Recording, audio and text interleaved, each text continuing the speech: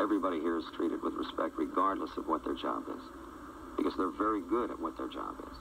And just because they're not paid as much as somebody else uh, doesn't make them any less important as people.